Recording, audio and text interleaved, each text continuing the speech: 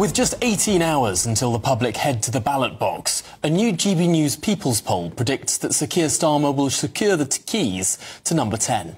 Yes, well, uh, let's take a look at what voters are thinking. So here you go. Labour ahead with 36% of the vote. Reform UK in second place with 20%. The Conservatives down on 16%. The Liberal Democrats 10. The Greens 9 and the SNP have 4%. Well, despite Labour's lead, only a minority of voters think Britain will be safe in safe hands with a Labour government, just 32%. Mm, interesting. And a plurality of 2019 Tory voters want a more small c Conservative Conservative Party, whereas 13% want a more Liberal Party and 17% like it as it is. Plus, there is little tribal loyalty left in British politics, as half the country say they're only lending their party of choice their vote. Around 60% of Labour voters say they'll be lending their vote to another party. That's very interesting, but only one in four voters think the outcome of the election will make a big difference to their lives. Hmm. Goodness me, lots to digest there. Let's speak to the man behind the poll. The pollster and academic, Professor Matt Goodwin, joins us now. Uh, uh, first of all, it seems very, very odd that there is this lack of enthusiasm, this uh, sort of lack of um, uh, fulsome support behind any of these parties. And it looks like Sir Keir Starmer is going to waltz into number 10 on a lower share of the vote than Boris Johnson. I think that's right, Tom. This is still very much the none of the above election. We know it's taking place amid record levels of distrust and a lack of confidence in the political class. That was some crucial research going into this election campaign. And since the campaign started, we've really seen a lot of voters rejecting not just the Conservatives, but also Labour. I mean, here's one thing to consider. The combined vote share currently for the two main parties looks set to be the lowest combined vote share really since the two party system that we have today began. There's going to be high levels of support for reform, the Lib Dems, Greens, the SNP. And I think under the surface of these results on Thursday night, Friday morning, I do think this public disillusionment is going to be very visible and unavoidable for many people. Now, Professor, I think it's worth pointing out that you have reform on quite a high proportion of the vote there. Now, other pollsters aren't putting them that high, and they're putting Conservatives above 20% in some we've seen in the last couple of days. What are you doing differently?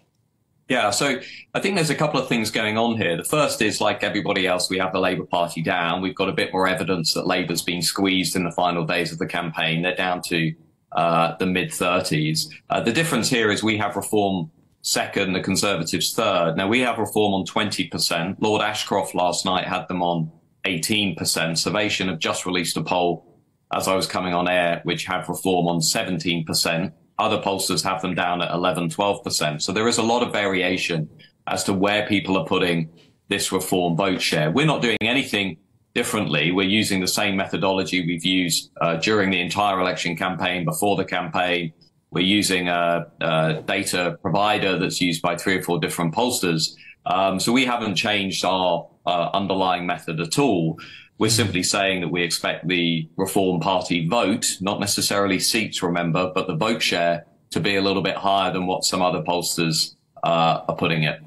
And this is the interesting point, is it not? When we're looking at uh, national vote share, of course, we're looking at the SNP there in your poll on, on 4%. If another party was on 4%, they would barely get any seats. The SNP are going to get double digits, likely, of seats because it's a very concentrated vote share. I wonder mm. if Reform, given their big air war message, their sort of rallying style of politics, trying to get the message out to as many people across the country as possible, is perhaps less targeted. And therefore, there are going to be quite a few wasted wasted reform votes in seats that they would never hope to win.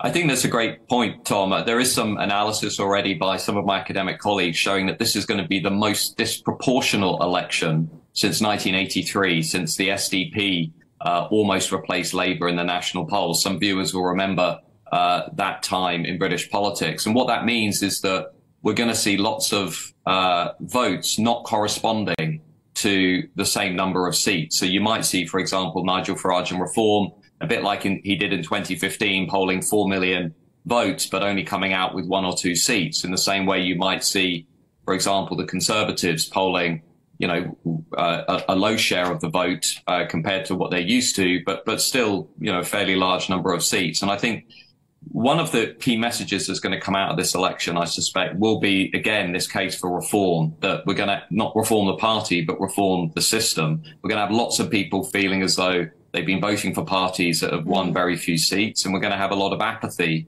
out there in the country. The other thing, by the way, briefly to keep your eyes on, is turnout. Uh, turnout may well fall into the low 60s, if not the high 50s. So we might see something like what we saw in 2001, 2005.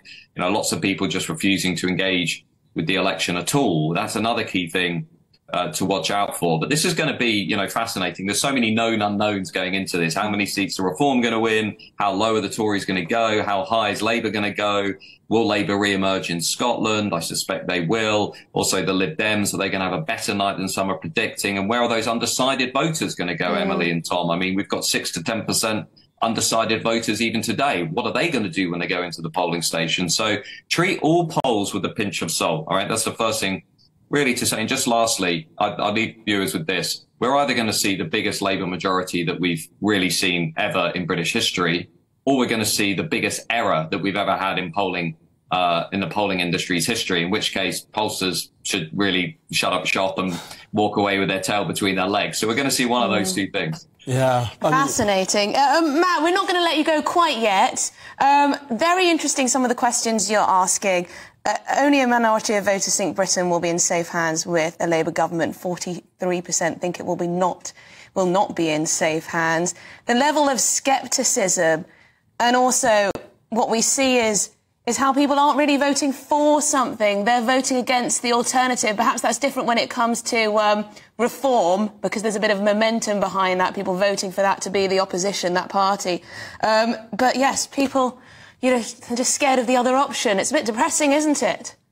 Well, I think take reform as an example. We now know we've had some new data from YouGov yesterday on this. Uh, I've also surveyed reform voters. We know that they're voting for the party because they like what the party's offering, right? They want uh, lower levels of legal migration. They want lower levels of uh, illegal migration. They want to leave the ECHR. They want stronger borders. So we know that's an instrumental vote. People are voting for reform because they like it.